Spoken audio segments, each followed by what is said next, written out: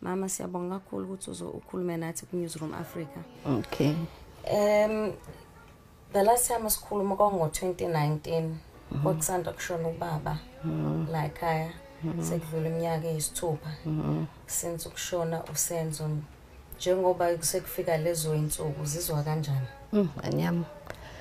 Buhlungu ubuhlungu mm, buhlungu kubuhlungu kubuhlungu ngalendlela eyisimanga.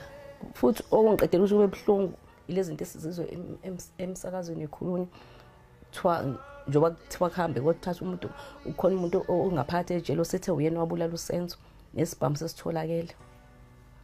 Usenzo basukela umuntu wabantu bomthatha ngaphakathi ejele bazomkhulumisa i- into engeyona bazomqambisa amanga. Bathi uyena obulala usenzo kuba vele seboshiwe segwetshiwe. Kwathiwa nesibhamu sesitholakele ayikho leyo nto. Ayikho leyo nto.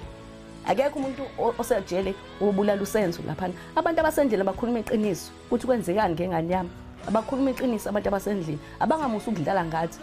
Lesi silonda aba- aba- aba- abasivulile abasizwisa sona. Namanje basabhizi basasifih- basasihlikihla bafaka usawoti kuleli nxebe libuhlungu elibhibhayo.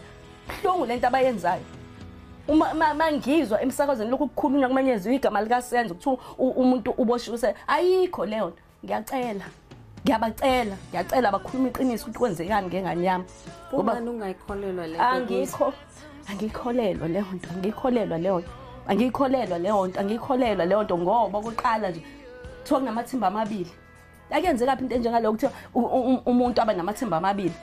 Leli elinye liripotha kubheka ecele leli elinye angilazi liripotha kubani. Leli elinye okuyilona ethambe lothatha umuntu ngaphakathi ejele lazothi ene uy- uyena lo muntu obulala ingane yami. Ayikho leyo nto akukho muntu. Ab- ima-ke